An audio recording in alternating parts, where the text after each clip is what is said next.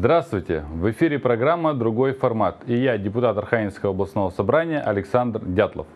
Неделю назад я поинтересовался у вас, стоит ли бюджет региона на следующий год объявить бюджетом развития сферы здравоохранения, предусмотрев в нем средства на развитие и модернизацию системы здравоохранения. Семь дней шло голосование и вот его результаты – 92% проголосовавших считают, что изменения в области здравоохранения назрели и на них необходимо направить средства областного бюджета. Устраивает нынешнее состояние медицины в регионе лишь 8% посетителей сайта информационного агентства «Двина-Информ». А вот не определившихся со своим мнением на этот счет на этот раз не нашлось. Таким образом, мнение жителей области почти единодушно – в сфере здравоохранения в Архангельской области назрели серьезные перемены, которые невозможно осуществить без серьезных финансовых вложений. А я, в свою очередь, донесу позицию северян до областного руководства.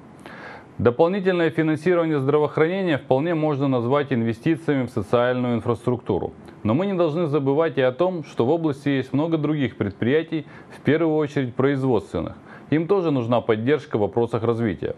Однако финансовые затраты на модернизацию государство здесь нести не может.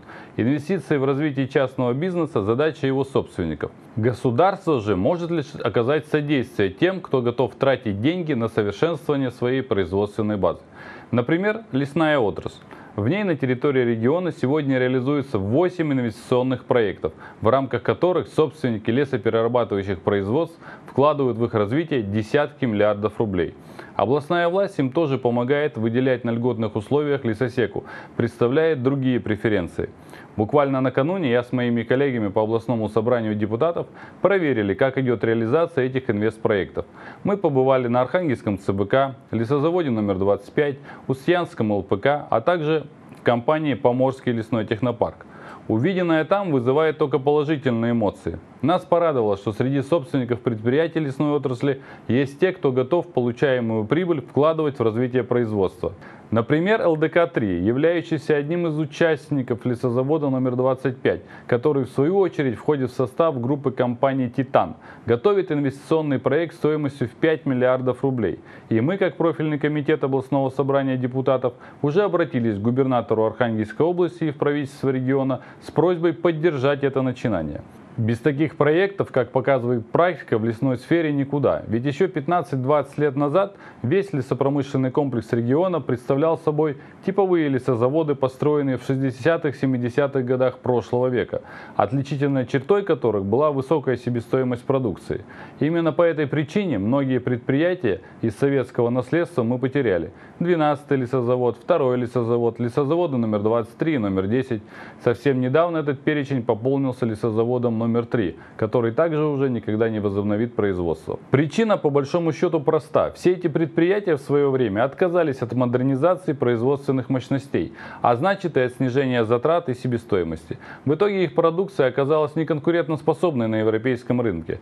Однако в числе частных инвесторов, претендующих на государственную поддержку, не всегда встречаются порядочные компании. К сожалению, Архангельская область здесь не исключение. Несколько лет назад общество с ограниченной ответственностью Вельский дерево деревообрабатывающий комбинат, входящий в холдинг, принадлежащий одному из самых богатых российских предпринимателей Роману Авдееву, за ним числится 69-я строчка Forbes, реализовывал инвестиционный проект общей стоимостью чуть более 2 миллиардов рублей. А сегодня предприятие оказалось в предбанкротном состоянии. С заявлением о признании его финансово несостоятельным в суд обратилось одно из предприятий Каргопольского района, которому Вельский док задолжал чуть больше 17 миллионов рублей. Эта история натолкнула меня на несколько вопросов. Первый. Что это за предприятие, которое, реализуя миллиардные инвестпроекты, не может расплатиться с подрядчиками? Второе. Правильно ли поступает государство, оказывая поддержку таким предпринимателям? И третье. Насколько тщательно федеральным Минпромторгом, который принимал решение о поддержке инвестпроекта, проверялись документы, представленные предприятием? Ответить на эти вопросы без компетентных органов, увы, не получится. Поэтому я прошу прокуратуру Архангельской области и Министерство промышленности и торговли Российской Федерации считать эту передачу официальным запросом о представлении информации. Впрочем, проверить это предприятие намерены и мы, депутаты областного собрания, совместно с правоохранительными органами региона. Ну а пока давайте поразмышляем над тем, как сделать так, чтобы подобных случаев больше не было. Может быть есть смысл создать черный список предприятий, которые недобросовестно используют государственную помощь при проведении инвестпроектов. Один подобный черный список, кстати, в стране уже появился. В него будут включаться недобросовестные арендаторы лесных участков, пренебрегающие своими обязанностями. Фигурантам этого списка уже точно никогда не удастся получить государственный лес в аренду.